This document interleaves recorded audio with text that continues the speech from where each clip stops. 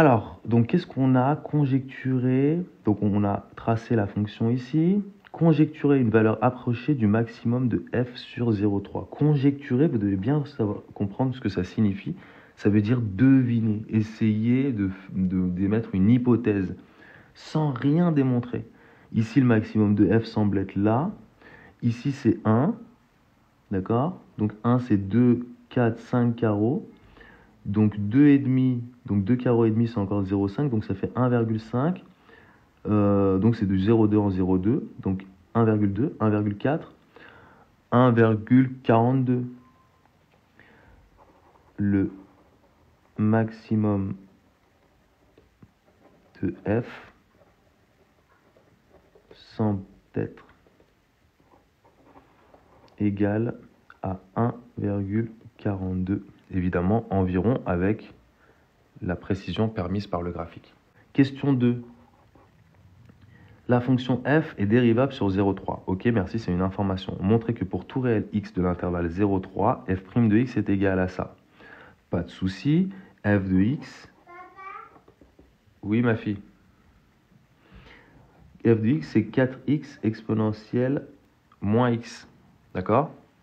Donc ça, je vais le dériver comme un produit f' de x va être égal à u', la dérivée de 4x c'est 4, fois v, fois exponentielle moins x. Ça c'est u, 4x, ça c'est v, exponentielle moins x. Plus, plus la dérivée de exponentielle moins x. Je vous rappelle que la dérivée d'exponentielle moins x, c'est vraiment quelque chose que vous devez être capable de faire en quelques secondes. C'est égal à moins exponentielle moins x. Tout ça, si vous avez du mal, il faut aller voir la fiche 7. Dans la fiche 7, on a travaillé énormément avec la dérivée des fonctions composées de l'exponentielle. Du coup, je vais avoir moins exponentielle moins x fois u. Donc moins, moins exponentielle moins x fois 4x. Et là, je vais pouvoir mettre 4 exponentielle moins x en facteur. On le voit, c'est un facteur commun. Ici, attention, je l'ai encore fait avec mes élèves il y a quelques jours. La plupart oublient d'écrire 1. Moins x pourquoi? Parce que ici, c'est 4 exponentielle moins x fois 1. Il faut faire attention à ne pas oublier ça.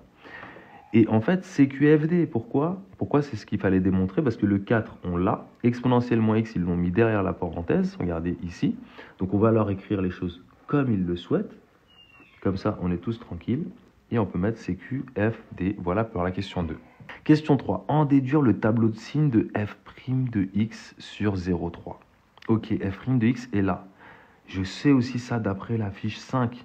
On sait ici déterminer le signe des fonctions qui contiennent de l'exponentielle. Vous comprenez pourquoi c'est important de faire les fiches dans l'ordre.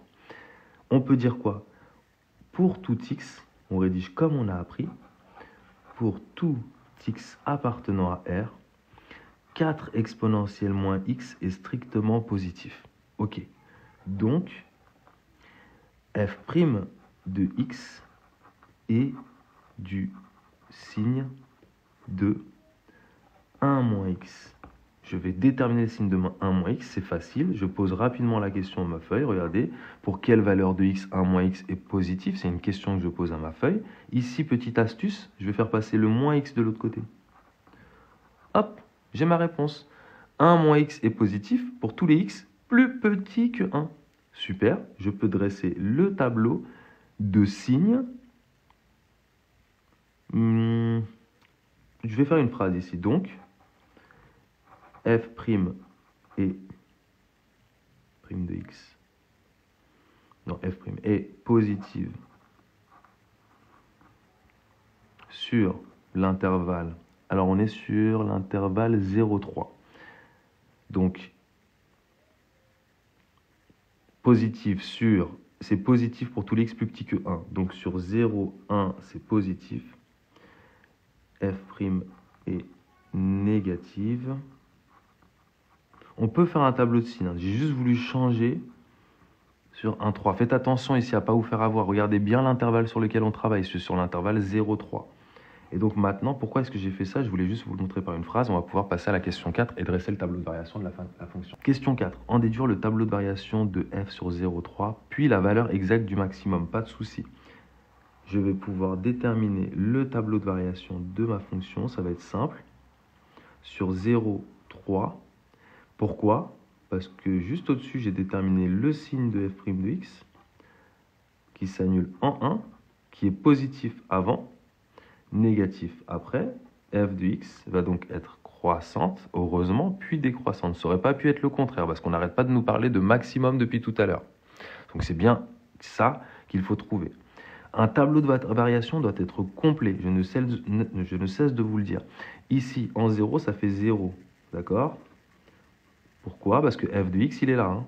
Vous voyez, f de x, c'est 4x exponentielle moins x. Donc f de 0, ça fait 4 fois 0 fois quelque chose, ça fait 0, ça on le sait.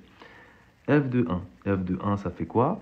F de 1, ça fait 4 ici, exponentielle moins 1. 4 exponentielle moins 1, super.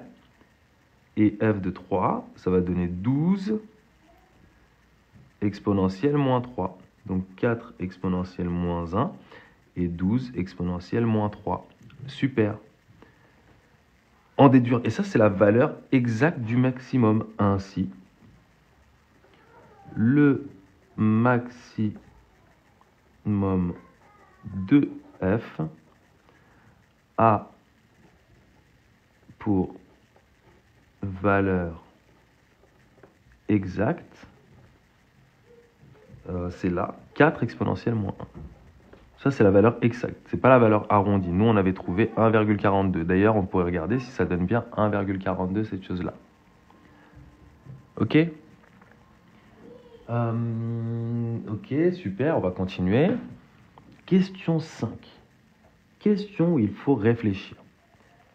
Soit A le point d'abscisse 1 de la courbe CF. Ça veut dire ce point-là. Le point d'abscisse 1 de la courbe CF, le point d'abscisse 1 de la courbe CF, on l'a noté A. Super. Soit T la tangente ACF au point d'abscisse 0,5. La tangente ACF au point d'abscisse 0,5. 0,5, regardez, c'est là, là, et donc T, on nous demande, on va tracer, la, tangente n'est pas tracée, donc on va le faire nous-mêmes, la tangente va être tracée de cette manière-là. On est d'accord? Voilà la tangente. La tangente qu'ils ont nommée comment? Euh, C'est quoi? C'est un T ça? Je sais pas, on va dire que c'est un T. T pour tangente. ACF au point d'abscisse 0,5. Donc voilà la tangente. Et regardez la question. Qui de la droite OA La droite OA. J'arrive, je vais chercher un autre stylo.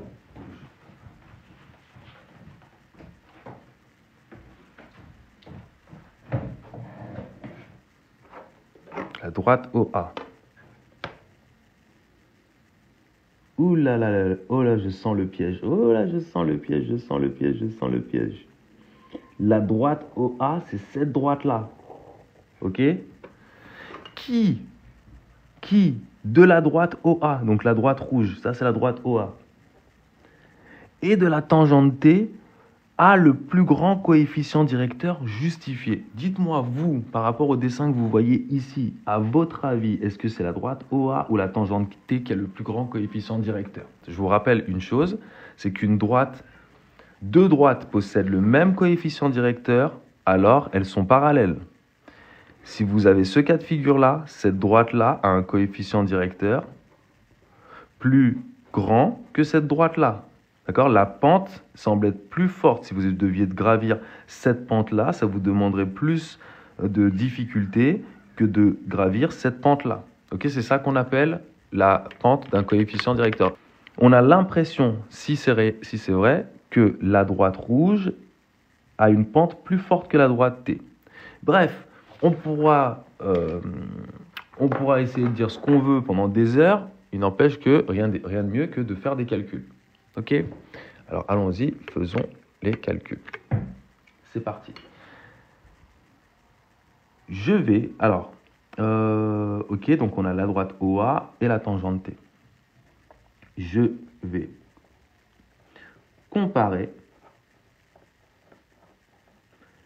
les coefficients directeurs de ces deux droites.